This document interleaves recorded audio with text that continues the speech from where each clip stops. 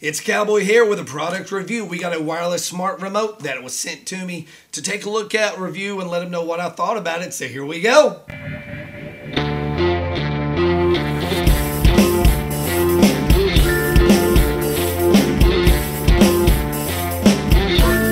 Welcome back to Cowboy Jack Live. It's me, it's a cowboy, right here on your phone, on your computer, on your tablet, wherever you're watching me.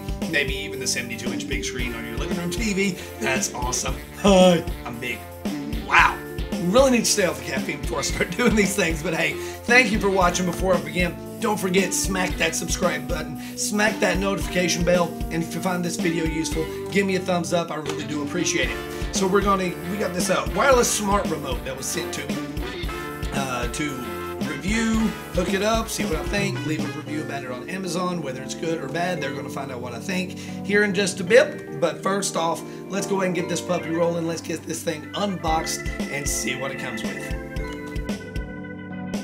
All right, so like I said earlier, I apologize for my voice. I've been playing Freddy Krueger at a haunted house, so uh, yeah, a lot of screaming. But here we go. This is the uh, wireless Bluetooth smart remote. Um, I've already unboxed it once, but I put everything back together just to show you how it comes in the package.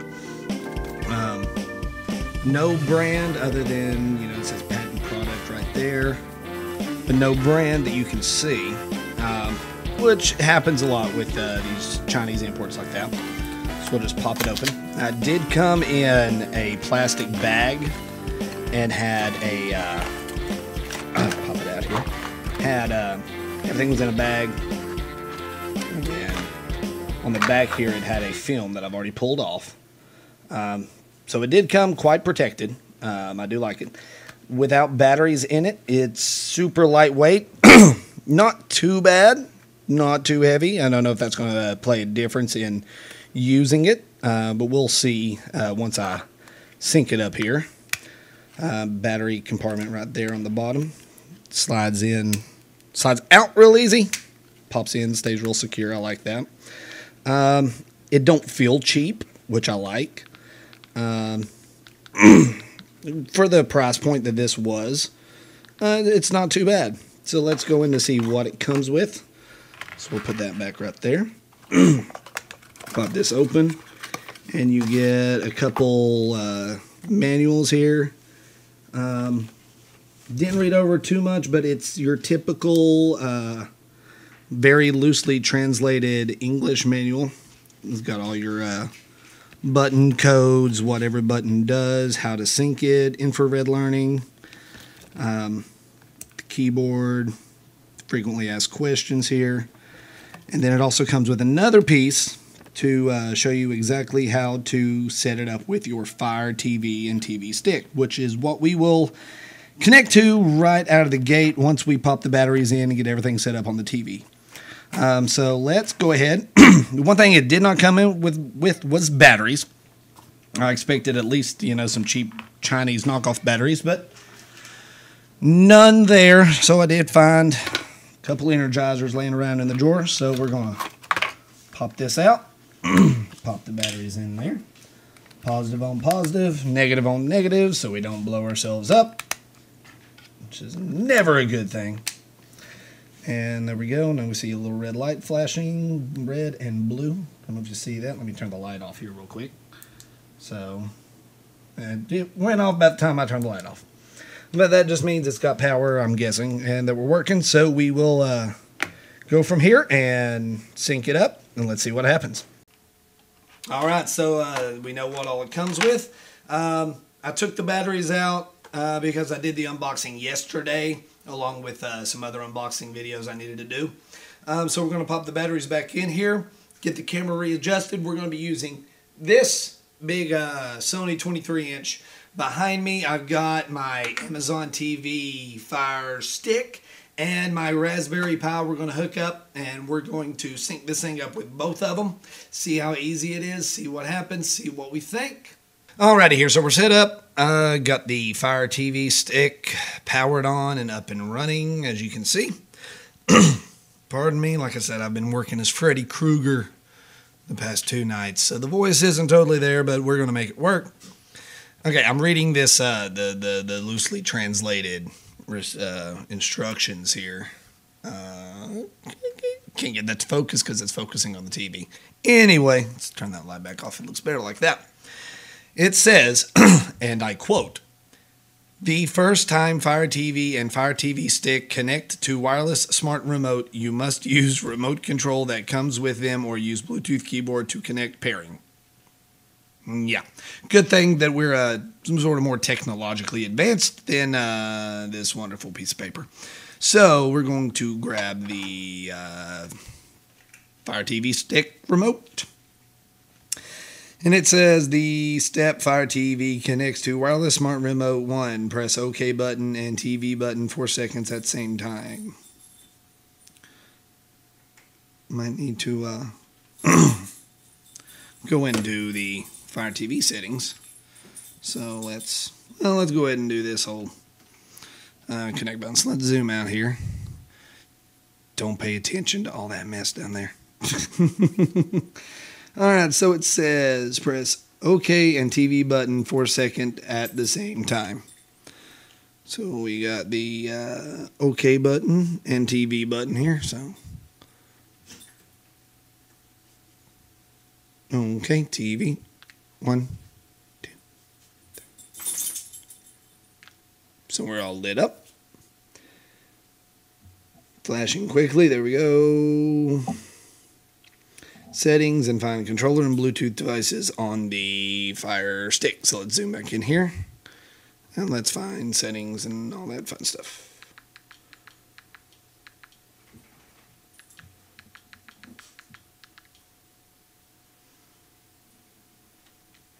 It says enter and Bluetooth, enter controller and Bluetooth devices menu, choose game controllers add a new controller. Wouldn't do that, even though it don't say to. Now we're searching for one. Add new controller. It says gamepad. I don't know if this is going to be. I don't think that's what we're looking for. I think that might be what I have set up for my uh, Raspberry Pi. So let's do the uh, OK and TV again. Flashing again. So let's do add new controller again. See what it finds. Bluetooth remote. That's going to be the one we're looking for. Pardon me. Man, I hate coughing like that into the camera. All right, now it says connected. So let's see what we got. Hey, we're cooking with gas here. Let's zoom back out so you can see. So, uh, yeah. Now, where's our back button? There's our back button. Let's go ahead and hit the home button and see what that does. Nothing. Oh, no, it takes us back home. That's exactly what we're wanting it to do. Shoot, pardon me, man. We're going to get this thing kicked after a while. So uh, we'll zoom back in here and we'll start using it, flipping through everything. Looks like uh, it's working just fine. Let's find somewhere where we need to search. What do we want to search for? Let's flip it over here to our keyboard side. and let's just search for nothing. Okay. Here we go. N E T F L I X. And let's hit enter. That just put another X on there. So I'm going backspace. So it looks like once you do that, you're going to flip the remote back over, choose Netflix. So the enter button don't work on the search button. You know, it's I guess one of the things that one of the ways it works, I guess. So it looks like for the most part all the basic features are just fine. now on this remote we do have your number buttons, uh, looks like some volume and channel or page buttons. It also said there's infrared controls, so I dare say we can pair this up to a uh, Sony connection and get this working, the volume and all that. Uh, just for her the heck of it, let's see if it works. Nope, it does not work. Um, so let's get to our trusty little uh, manual here.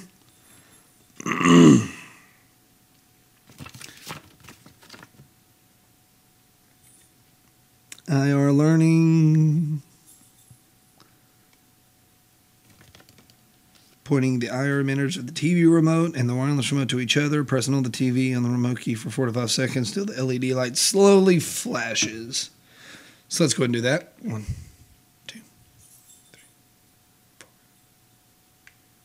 I guess that's a slow flash.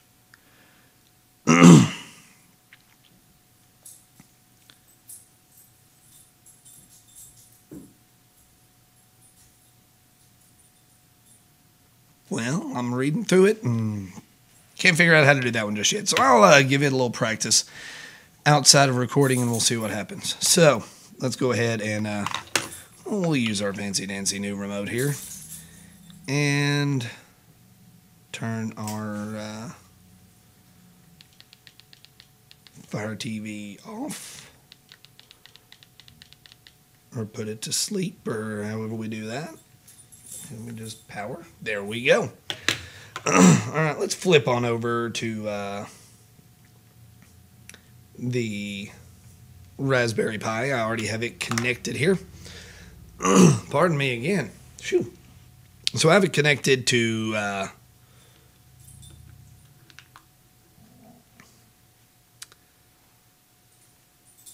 So I've got the Raspberry Pi booted up here and it's got my RetroPie memory card loaded up. So as you can see here, we're, we're working on RetroPie. I'm using my old school uh, cheapo remote here that does all the fun stuff if I'm using Kodi or uh, the Linux browser or anything like that. Um, so we'll try to set this uh, DC remote up in our Raspberry Pi. So let's go ahead and hit Pardon me. We will hit A there to select, and let's go up to Bluetooth. Get that loaded up here. Say hi to the reflection on the camera. And we're going to choose register and connect to Bluetooth device. Let's go ahead and do this uh, whole OK and TV thing again.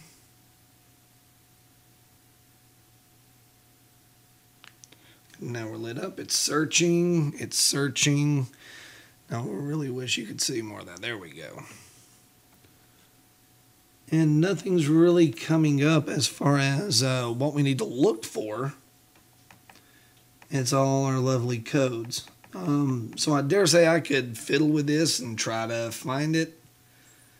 I do know that that code right there is new. So, you know, let's let's see what happens. Let's give it a shot. We're slowly flashing on the remote now. An error occurred. So let's try this again.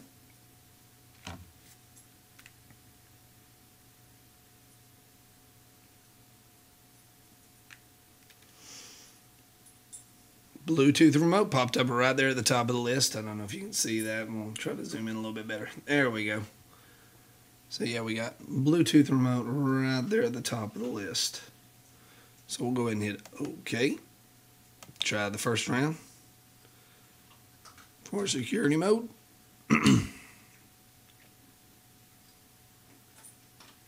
and error occurred. So let's see if it finds it again.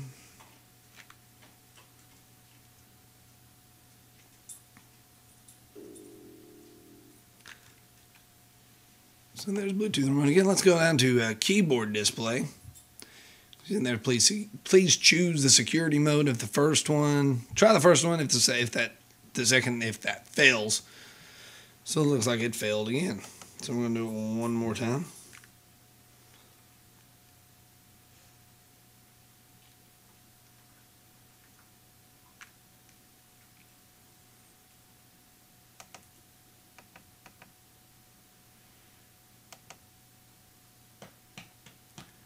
Keep on going down the list here. this is going to be a rather long video, so I do appreciate y'all uh, sticking around with me and uh, seeing how this thing works here.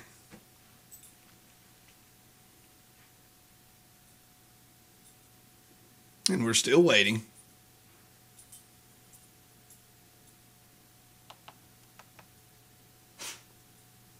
Another error. All right, let's do it again. I think it said the second one was a uh, keyboard only.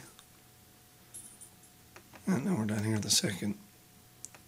Let's go on. Let's get display on. Let's go to keyboard only and see what that does.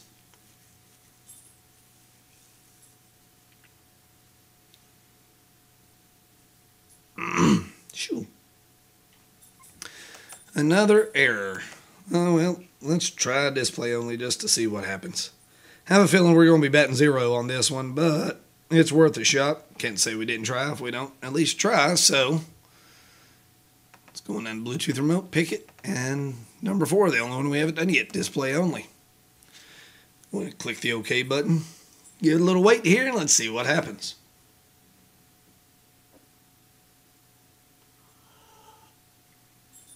So once again, we get another error. So I'm going to dare say that we are unsuccessful on pairing uh, this with the Raspberry Pi, at least uh, in the sense of connecting it with uh, a RetroPie setup. I might get some more luck if I use the uh, Kodi setup, but I'm not totally sure there. Let's, uh, you know, for the heck of it, flip it back over to our uh, Amazon input. Let's go ahead and turn the Amazon on. Let's hit the switcher and flip it on over. so there's that. Let's see if this the remote's already back working.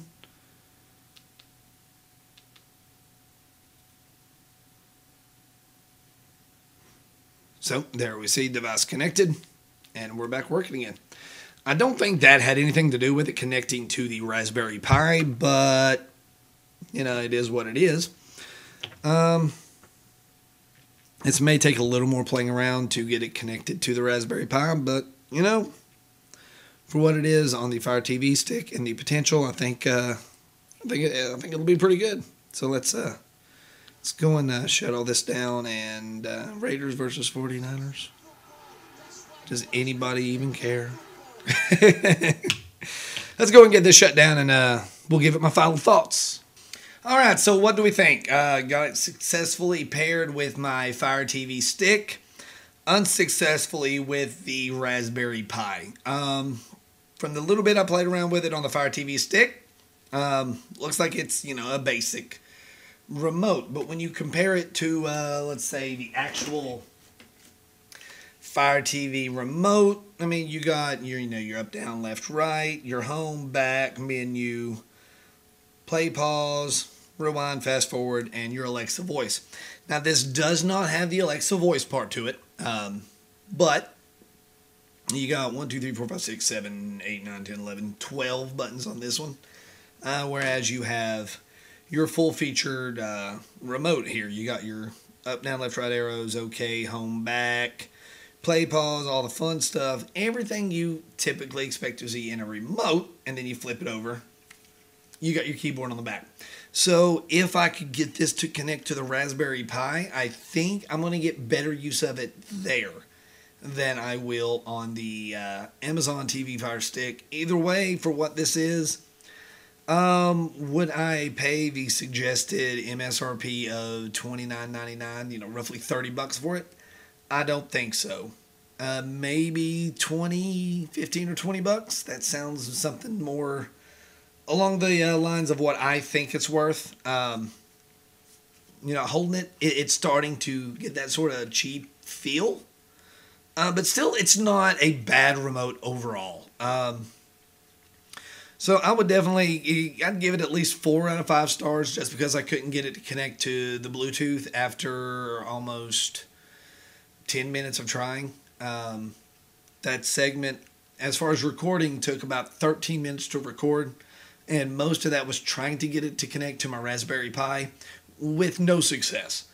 But as far as connecting to the Fire TV stick, it connected right up, no problems there. Um, works like a charm. So I, I do like it. Um, this will be used. It's not going to just uh, sit in a box anywhere. I'm not going to give it away or something like that. So with that said, thank you for watching. Hopefully you found this uh, video informative, useful. Um, if you like it, want to get your hands on it, I'll leave a link in the description below. If you found this video useful, hit that thumbs up button. Let me know. If you didn't find it useful, hit that thumbs down button. Let me know the truth. Um, that's what I like about this channel. You can let me know exactly how you feel. Um, let me know in your comments below any thoughts, any questions you have on it. I'll get back to them as soon as I can, as soon as they pop up. Um, don't forget, smash that subscribe button, smash that uh, notification bell. That way you know every time the cowboy comes through with another video. And as always, no matter if we agree or agree to disagree, thanks for watching. I'll see y'all next time. Cowboy out.